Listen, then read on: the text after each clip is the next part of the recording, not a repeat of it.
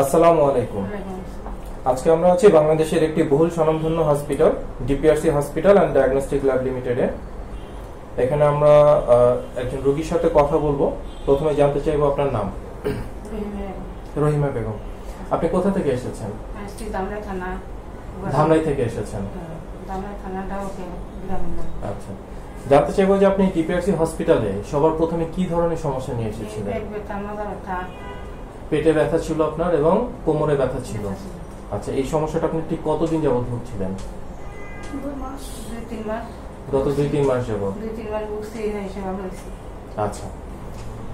জানতে চাইব যে এই ডিপিএসসি হসপিটাল আপনি কোন ডক্টর সাহেবের আন্ডারে ভর্তি ছিলেন? ডক্টর শফিউল্লাহ প্রধান ওনার আন্ডারে ট্রিটমেন্ট করেছেন। আপনি কতদিন যাবত এখানে ভর্তি আছেন? গত পঁচিশ দিন যাবত এই সমস্যাটা আপনি ভুগছেন এবং এখানে আপনি ট্রিটমেন্ট নিয়েছেন। বর্তমানে আপনার কি অবস্থা? আগের থেকে অনেক ভালো অবস্থা আছেন। আপনার পেটে ব্যথা কি আছে এখন? পেটে ব্যথা নেই। আপনার যে কোমরে ব্যথা ছিল সেটার কি অবস্থা? আপনি আগে যে ধরনের সমস্যাগুলো হতো কোমর ব্যথার জন্য আপনি হয়তো আপনার স্বাভাবিক যে কাজকর্মগুলো করতে পারতেন না সেগুলো এখন করতে পারেন ঠিক মতো আচ্ছা। আচ্ছা আমরা এখানে ওনার মেয়েকে পেয়েছি একটু ওনার সাথে একটু পরিচিত হই। আপনার নামটা প্লিজ বুলবুলি আক্তার। আচ্ছা আপনার মাকে আপনি এর আগে যে অবস্থায় দেখেছেন যে উনি ওনার প্রচণ্ড পেটে ব্যথার কারণে উনি ওনার স্বাভাবিক কাজ করতে পারতেন না এবং ওনার যে কোমরে ব্যথা ছিল। তো সেই আগের অবস্থা এবং বর্তমান অবস্থা দুটাতে আপনি কেমন দেখছেন ওনাকে এখন? আগের অবস্থা তো অনেক খারাপ ছিল। এখন আমরা দিলে অনেকটা সুস্থ হয়েছি। অনেক সুস্থ আছেন। হ্যাঁ। আচ্ছা ওনার এই সমস্যার কারণে এর আগে কি আপনার কোথাও ওনার এই ধরনের ট্রিটমেন্ট করিয়েছিলেন? হ্যাঁ। আচ্ছা সেই ট্রিটমেন্টগুলো করার পরবর্তী অবস্থায় কেমন ছিল আপনাদের অবস্থা? তারপর অনেক ব্যথা ছিল। অনেক ব্যথা ছিল মানে যে সমস্যা নিয়ে আপনারা গিয়েছিলেন সেটা পুরোপুরি ভালো হয়নি। ভালো হয়নি। অনেক ওই ইনজেকশন দিত ইনজেকশন যতক্ষণ মেদ থাকতো ততক্ষণই এই ব্যথা কম থাকতো। তারপরে অনেক ব্যথা এখানে আমরা ওনার হাজবেন্ডকেও পেয়েছি। স্যার একটু আপনার সাথে কথা বলি। স্যার আপনার নামটা প্লিজ আমার নাম আব্দুল আলী। আব্দুল আলী আচ্ছা ওনাকে আপনারা মানে আপনার মেয়ে বলেছেন যে ওনাকে এর আগে আপনারা বিভিন্ন ট্রিটমেন্ট করেছেন বাট যে ধরনের ট্রিটমেন্ট ওনার পাওয়ার কথা ছিল হয়তো সেরকমটা উনি পাননি।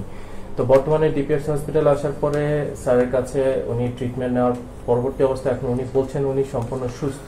আপনার কি মনে হয় ওনার কি অবস্থা এখন? ওনার অবস্থা ভালো আমরা ডিজিটালে রাখছিলাম সাত দিন আরব দেশের এলাকায় গ্রামে ফকির, কবিরাজ অনেক চিকিৎসা অনেক ধরনের treatment হ্যাঁ, অনেক ধরনের ট্রিটমেন্ট করছি। কোনো দিকে আমরা ফল পাইনি। যে ধরনের এখানে এসে আল্লাহ দিলে আমরা তার পিঠে ব্যথা পেটে ব্যথা মাজায় ব্যথা। দুই ঠ্যাঙ্গে ব্যথা। আল্লাহ দিলে সম্পূর্ণ সুস্থ বর্তমানে আল্লাহ দিলে খুব ভালো। আচ্ছা।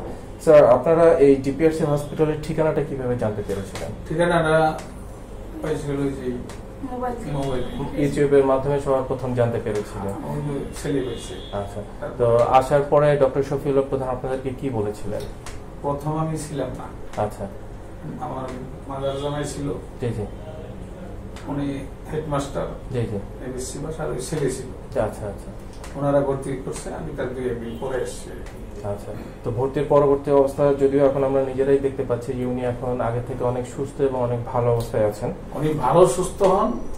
শারীরিক অবস্থা একটু খারাপ হলে তার খাওয়া দাওয়া করতে পারে নাই। যার কারণে শরীরটা একটু হালকা হয়ে গেছে। জি। এটা শরীরটা ঠিক হলে আল্লাহ দিলে পুরোপুরি সুস্থ। আচ্ছা।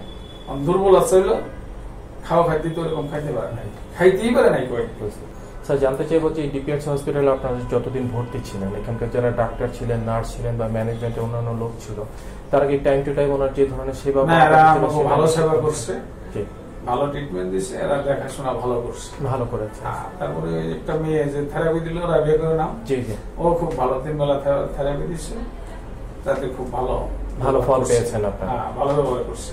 আচ্ছা। স্যার এই ডিপিএস হসপিটালের পরিবেশ সম্পর্কে যদি একটু জানতে চাই কেমন ভালো লেগেছে? খুবই সুন্দর। অতি। উত্তম আচ্ছা। হ্যাঁ পরিষ্কার পরিচ্ছন্ন খুবই ভালো। স্যার আমরা জানতে পেরেছি যে আপনি নিজেও আপনার ব্যাক পেইনে ছিল এবং আপনার আমার ছিল। কোর্সটা ছিল পঁচিশ দিনে। জি জি জি। আমার পারিবারিক ব্যাপারে যে কোনো ঝামেলার কারণে থাকতে পারতাম পুরো কোর্সটা আপনি নিতে পারেন নিতে পারতাছি আমার দশ দিন হয়েছে জি। ওই যে কিছু ব্যবসা বাণিজ্য ঝামেলা এই কারণে আমি দশ দিনে মোটামুটি এখন একটু ভালো হ্যাঁ, অবস্থায় আছেন।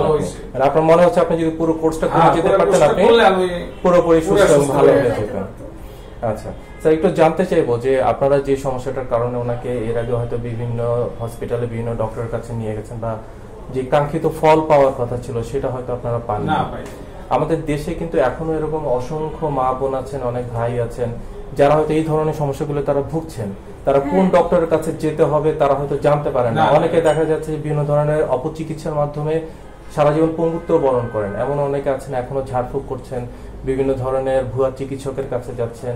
অনেকে দেখা যাচ্ছে যে আপনার বিভিন্ন ভেষজ খেয়ে আপনার আরও বেশি নিজেদের ক্ষতি করে ফেলছেন। অনেকে আছে ভুয়া ডক্টরের কাছে গিয়ে তাদের সর্বস্ব শেষ করে ফেলছেন কিন্তু তারা ভালো হচ্ছে না। সেই সকল ভাই বোনদের উদ্দেশ্যে কিছু বলবেন। আমি কালকে স্যারকে বলছি যে আমাকে ওইখানে হয়তো দু তিন বছর হয়েছে বয়স মানে রোগীর বয়স। রোগীর বয়স দু তিন বছর হয়েছে। এরকম চার পাঁচটা লোক আমার ওইখানে নেংড়ি নেংড়ি হাত আছে বা হাতে সমস্যা আছে পায়ে সমস্যা আছে। তেমন গ্রাম অঞ্চলে আয়ত রঙের বাতাস। তারপর প্যারালাইসিস ঠিক আছে আমার সবাই কইতেছে না এটা কোনো ব্যথার কথা না স্ট্রোক স্ট্রোক তখন উনি স্যারে বলল যে পাঠিয়ে দিন মানে তারা নিজেরাও জানে না যে আসলে তাদের কি ধরনের সমস্যা আছে। সঠিক ডায়াগনোসিস নাই থেকে সঠিক ডক্টরের আমগো পাড়ায় এসে পর্যন্ত রোগী নেন বুঝতে পেরেছি। আমার মতই বয়স। এদের পায়ে শক্তি পায় না বা হাতে শক্তি পায় না। আবার অনেকের কথা ক্লিয়ার হয় না। জি জি। স্যারগুলো যে পাঠিয়ে দিন ইনশাল্লাহ ভালো আচ্ছা।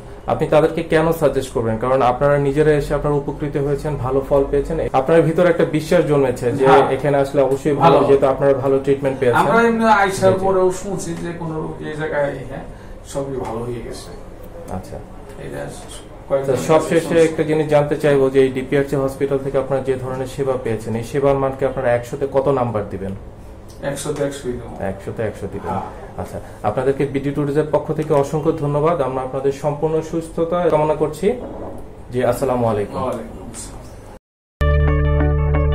আমরা জানি আপনার প্রিয়জন আপনার জন্য কতটা গুরুত্ব বহন করে। প্রপার ডায়াগনোসিস কনসালটেশন পেইন ও প্যারালাইসিস চিকিৎসা পুনর্বাসন আমাদের সব আয়োজনে সব সময় আপনাদের জন্য চব্বিশ ঘণ্টা খোলা। আমরা চাই না আপনারা বারবার আমাদের কাছে ফিরে আসুন তবুও আমরা আছি সব সময় সর্বদা আপনাদের পাশেই। ডিপিআরসি হসপিটাল লিমিটেড আস্থা বিশ্বাস ও নির্ভরতায় অবিচল।